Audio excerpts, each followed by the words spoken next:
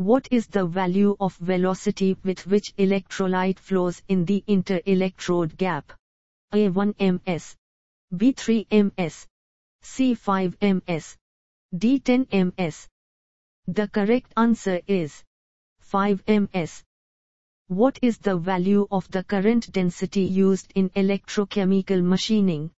A 0.010.4 amm2, B 0.55 amm2, C 615 amm2, D 2050 amm2.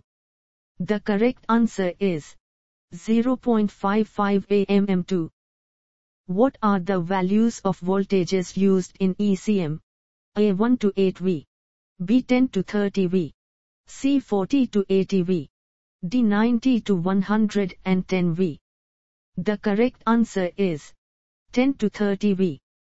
In AJM air filters are used to remove which of the following? A. Moisture. B. Oil. C. Other dust particles. D. All of the mentioned. The correct answer is all of the mentioned. What are the type of materials that can be machined using abrasive jet machining? A. Glass. B. Sapphire. C. Quartz. D. All of the mentioned. The correct answer is all of the mentioned. How does the current pass between the two electrodes in ECM? A. Electrolytic solution. B. Direct contact of electrodes.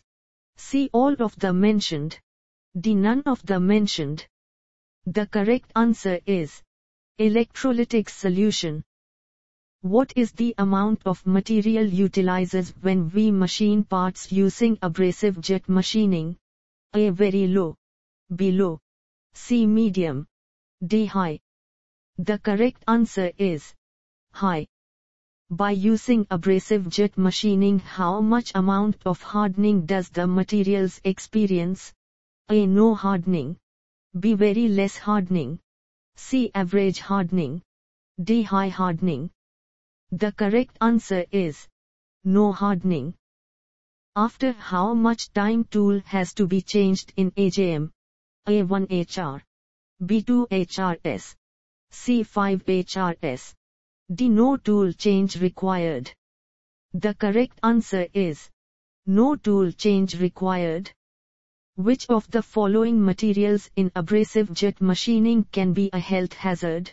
A. Abrasive grains. B. Air carrier. C. Silica dust. D. None of the mentioned.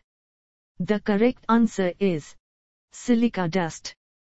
Which type of materials cannot be machined using abrasive jet machining? A. Soft materials. B. Hard materials. C. Difficult to machine materials. D. None of the mentioned.